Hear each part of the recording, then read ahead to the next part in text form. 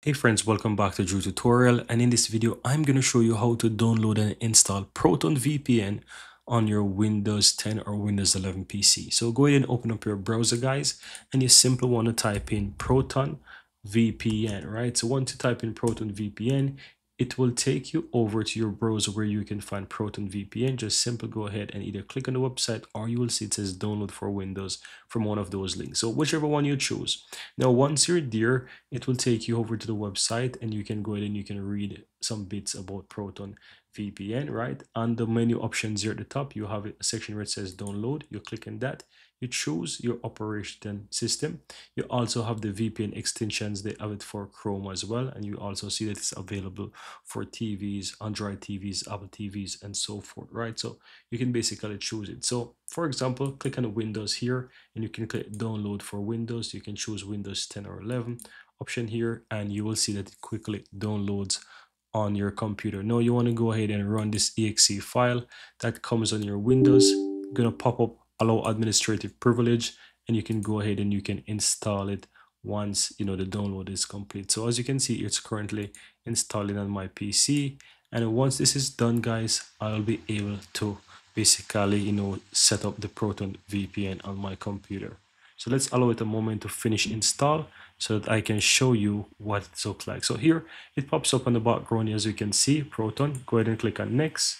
You can basically leave these if you want so you can go ahead and you can just simple you know click on these and just you have the proton mail you have all of these good stuff. You can choose if you want all of these things as well. So you can choose if you don't want them you can just uncheck them.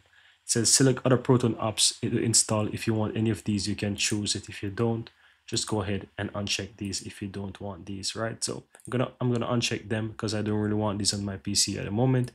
Go ahead and click on next and just wait for the installation process to complete. Now here you can see guys that the Proton VPN appears. If you don't have an account, you can go ahead and you can create an account, right? They also have a plan. So for create an account, let me go ahead and just minimize it and show you.